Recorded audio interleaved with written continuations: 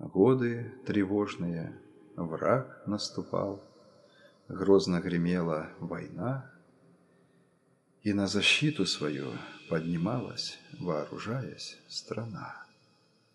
И одного человека спросили, «А ты на войну идешь?» «Нет», — им ответил он.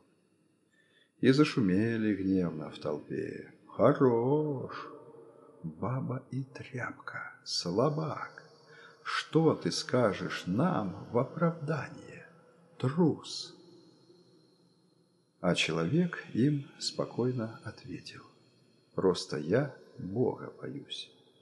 Стать не хочу перед Ним я на суд, руки испачкав в крови.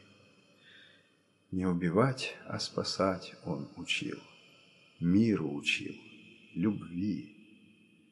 Он не учил подчиняться бездумно каждому слову вождей. Бога бояться – это не трусость.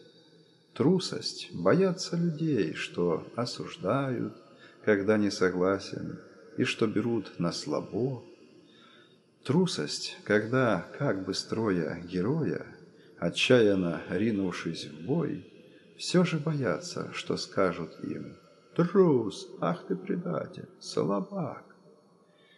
Нет, я не стану кровь проливать. Да, я за мир. Вот так. Тут подоспел и военных отряд, и прокричал командир. «Ах, значит, ты не пойдешь на войну?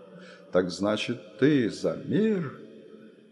Что ж, по законам военного времени, если ты так захотел, значит тебе оправдания нет. Твой приговор – расстрел. И человека поставили к стенке.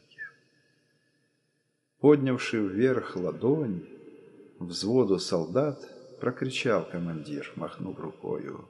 «Огонь!» Гром и упал человек, а под ним лужа крови видна. Верности Богу так высока бывает порою цена.